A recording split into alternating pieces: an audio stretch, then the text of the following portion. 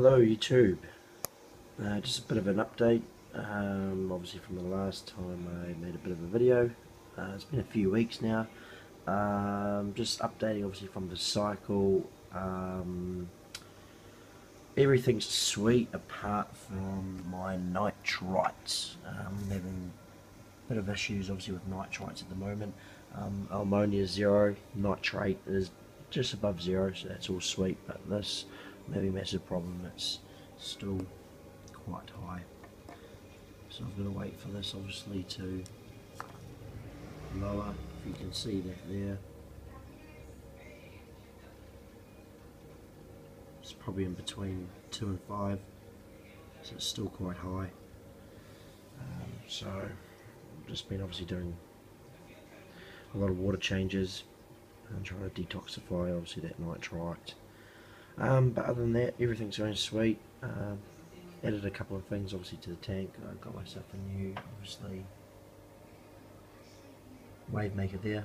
Uh, got actually ridiculously cheap. It's I uh, got this at my LFS it's actually just uh, just a cheap uh, Sun Sun but it is a very very good pump. Um, was 60 bucks but I got it for 25 so I thought that was a bit of a steal. Um, 5,000 5,000 litres an hour yeah. So definitely pumps uh, the water around which is quite cool. Um, you probably notice with obviously the sand here that's from the pump so I need to obviously angle that in the right direction because it's actually pushing the sand to that certain area.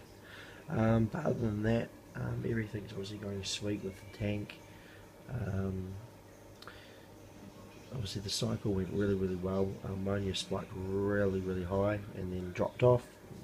This nitrate went really really high as well and that's dropped off. Um, just waiting for nitrite.